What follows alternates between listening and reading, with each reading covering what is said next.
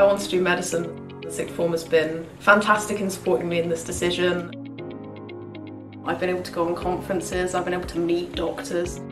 It's been super inspiring and it's really made me confident that I'm going to be able to get where I want to go because of the sixth form team.